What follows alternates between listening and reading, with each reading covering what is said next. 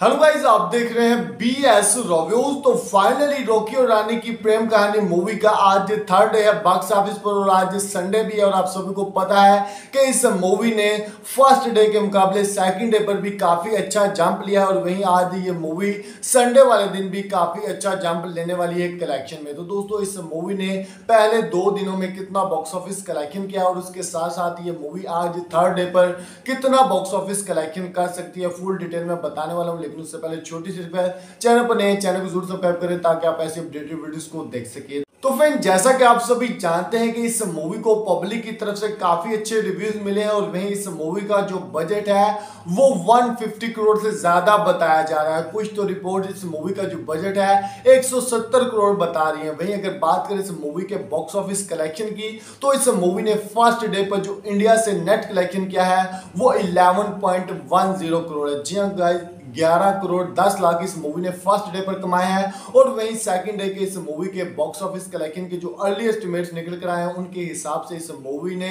लगभग 16.20 करोड़ का box office collection किया, यानी कि 16 करोड़ 20 लाख इस मूवी ने कमाए हैं। सेकंड डे पर ये ऑफिशियल नंबर नहीं है, लेकिन ऑफिशियल नंबर थोड़ी देर में निकल कर सामने आ जाएँगे। अगर इन दो दिनों का टोटल किया जाए तो इस मूवी का जो बॉक्स ऑफ़िस कलेक्शन है, वो ट्वेंटी करोड़ हो चुका है, यानी कि सत्ताईस करोड़ तीस लाख इस मूवी ने पहले दो दिनों में कमा लिए और वहीं अगर बात करें इस मूवी के थर्ड डे के बॉक्स ऑफ़िस कलेक्शन की तो आज संडे और आज इस मूवी के कलेक्शन में hundred and ten percent jump देखने को मिलेगा।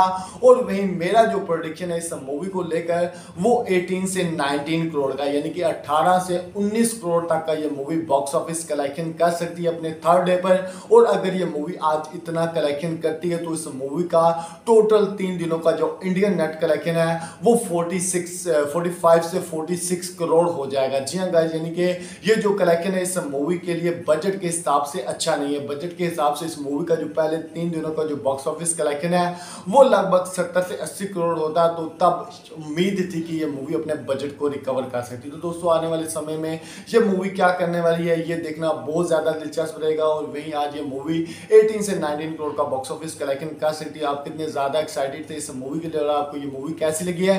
हमें वीडियो को लाइक करें, चैनल सब्सक्राइब करें, बेल आइकन को भी दबा दें ताकि आप ऐसे वीडियोस को देख सकें।